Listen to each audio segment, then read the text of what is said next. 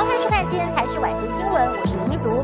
台湾在今天再新增了两例本土个案，都在台北市，而其中一例案一六二二六，她是一名七十多岁的女性，她在七月份的时候呢，曾经接种过一剂莫德纳疫苗，最近因为要到医院动手术，入院裁剪的时候确诊 CT 值三十八。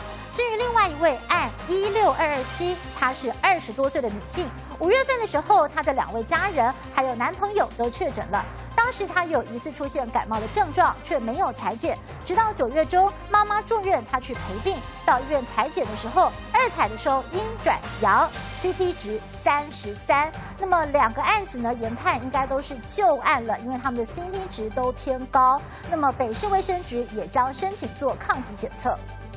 手术前三天，患者和陪病者得先做 PCR 裁剪，避免隐性确诊者在院内传播。而这回就靠这项规定，再救出北市两名确诊者，其中一例按一六二二七，明明五月时两位家人和男友都确诊，他也有疑似感冒的症状，却没被裁剪。直到九月，因为要陪妈妈住院，所以到医院裁剪，但第一次 PCR 阴性，二采阴转阳，CT 值三十三。一六二二七，他在九月十四号这有接种 A Z 第一剂。疫情指挥中心有说明说，推测可能是比较较为之前的感染。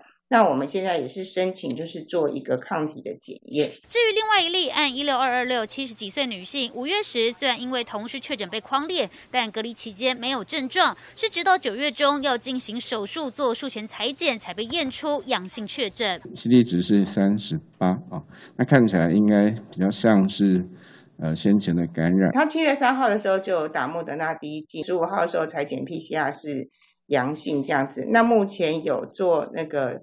啊，框列居格者一人哈，那裁剪已经是阴性。目前这两例本土个案都被北市列为感染源不明，尽管 C T 值都偏高，病毒量低，但仍会在针对他们的可传染期持续框列接触者，要尽可能把对社区的风险降到最低。解纵报道。